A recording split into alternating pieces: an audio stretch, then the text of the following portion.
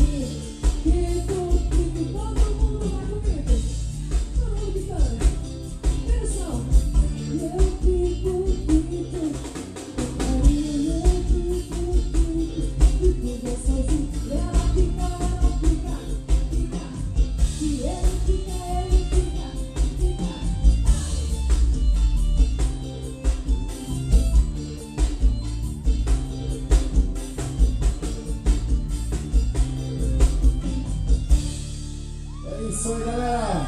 Em nome da Bora Comunicação, a gente quer agradecer e desejar a presença de todos vocês.